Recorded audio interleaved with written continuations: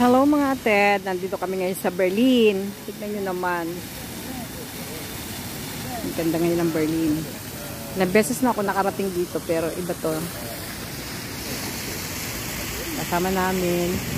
Yung bisita namin galing ng Amerika. Ayan naman. Medyo gabi na rito pero mali maliwanag pa rin.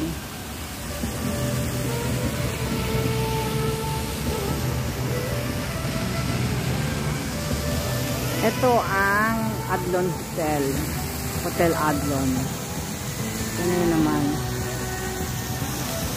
Mahal mag-overnight dyan.